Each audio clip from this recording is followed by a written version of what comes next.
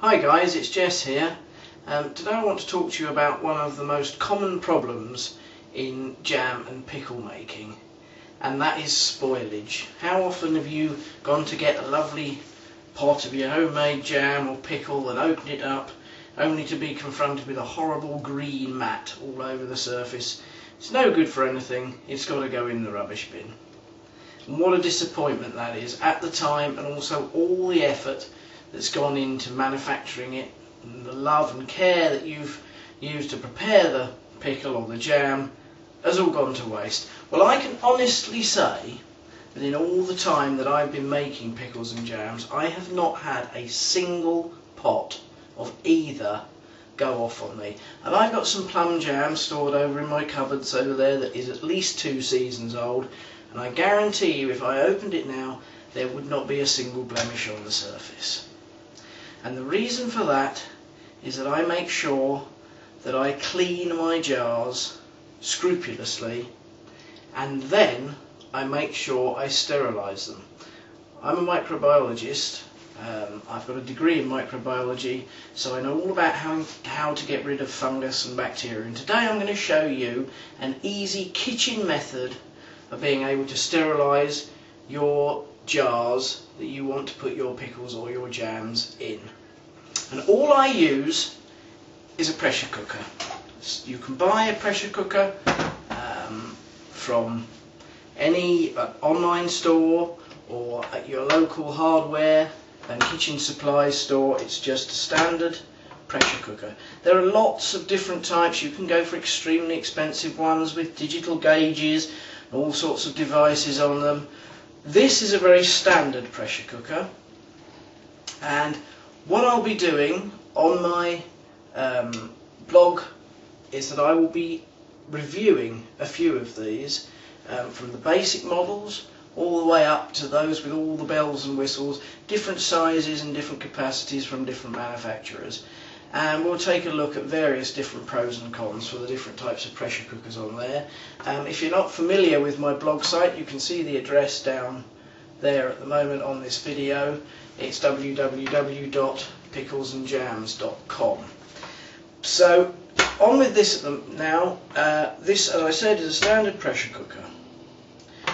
Uh, this is the release valve and the lid comes off with a safety catch. You push it forward and twist and that's the lid off and you will see inside is pretty much like a standard saucepan.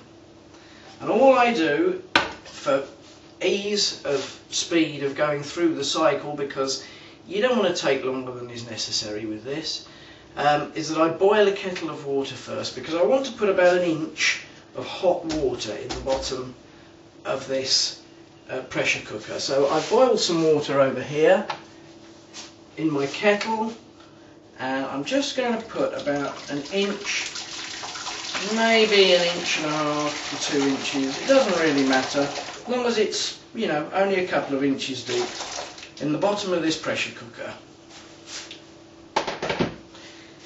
Then I take my jars and I make sure that the jar is already scrupulously clean and dry. And the most important thing is to make sure that the lid is slightly unscrewed. So the top is off now. And just want to make sure what I do is I tighten it down and then I just crack it so as it's loose but check that I can that I can pick the jar up with it. Okay? And then I place that as many as I can fit exactly like that. Tighten it off just crack it slightly as many as I can fit I'm only going to do three here for this demonstration. My pressure cooker holds seven. Now you know you can get bigger and smaller pressure cookers that will hold obviously more or less of, and obviously the size of the jar matters. And so screw it down tight just break it so as the seal is broken and in it goes. Okay? The lid then is put back on. You have to line the arrow. They all have a an arrow uh, marked in the lid that lines up with the bottom handle here.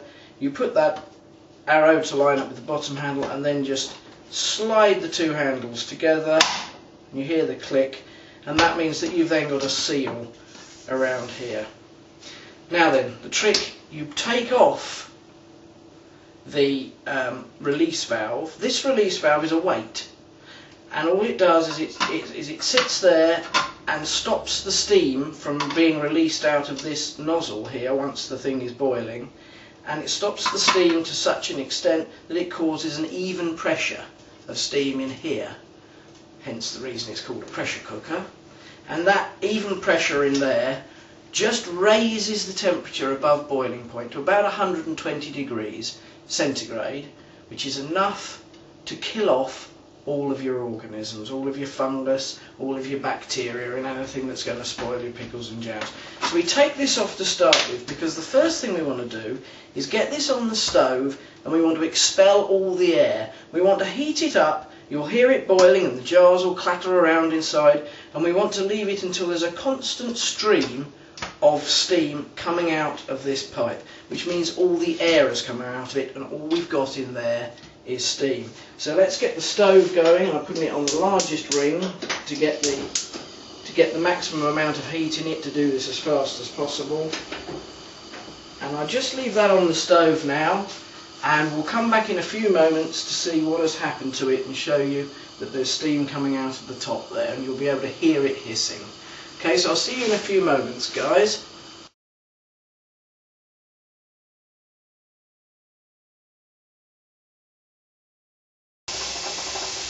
Guys, I'm back now, and what you can see, or if you can't see you can probably hear, there's a constant stream of steam now coming out of this nozzle, which means that all the air that was inside this chamber has been pushed out by the steam, and we've just got steam coming out of here. Also, the safety lock on this handle will have popped up, a little red button has popped up show me that the handle is now locked and that I can't open the chamber and obviously scald myself. So, what we do now is that we take the weight that we showed earlier and we put it firmly but carefully over the top of that nozzle. Now what that's doing is that's now preventing the steam from rising up and coming out of that nozzle. And so that's making the pressure slowly but surely build inside this chamber. And as the pressure builds, so the temperature rises. And it rises above 100 degrees. There are a lot of bacteria and fungus, fungi that produce uh, spores like little eggs that can survive over 100 degrees centigrade. So it's no good just getting your jars and putting them in, a, uh, in some water and bubbling them away on the stove because those spores will survive and when you then put your jam inside your jars they'll germinate and lo and behold there will be your fungus on the surface. So this is now rising slowly, the pressure is building and building and you will see that what will happen is that this weight will eventually, and it's just starting to happen now, I can see uh, beneath it that there's a bit of bubbling, you will hear or see that that weight now, there it goes, is being pushed off of the top of that spout and so a small amount of steam is being released from around the side, keeping this chamber at a constant pressure, keeping it at a pressure that allows it to be at about 120 degrees centigrade, a temperature that is too hot for any of the spores to survive. So what we can do now is we can turn the stove down and I let that now bubble away for 10 minutes. So what I'm going to do is I'm going to come back in 10 minutes time and I'm going to show you how we can quickly open this and turn it around fast uh, rather than letting it cool right down to room temperature so as we can put some more jars in and you know get the whole process moving at a reasonable speed. So I'll see you again in about 10 minutes time.